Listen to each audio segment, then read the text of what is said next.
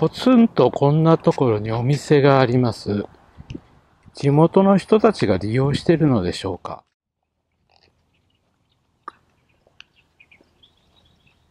えっと、この動画をずっと見てる方はお気づきかもしれませんが、僕が、えー散歩していても、ほとんど地元の人に出会うことがありません。えー現在はコロナの緊急事態宣言中ですけども、ほとんど外を出歩いていても人と出会うことがないので安心です。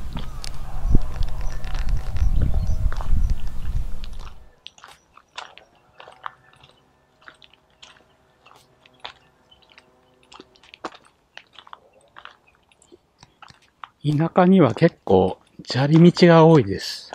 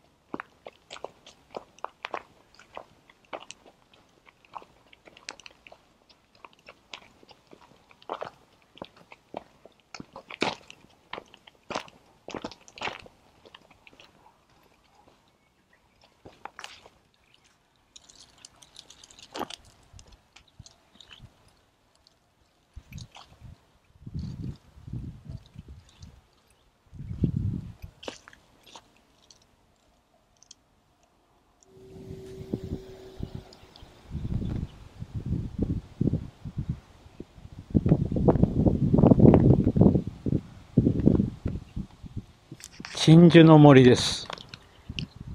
鎮守の森は、えーそこの土地を開発した時のこう原生林の名残みたいなものがあるんじゃないかと学者の人たちが言っていて結構研究対象になるそうです。僕は最近、えー、鎮守の森に結構興味を持って、えー作品の題材にしようと思って今研究してるとこです。中にお社があります。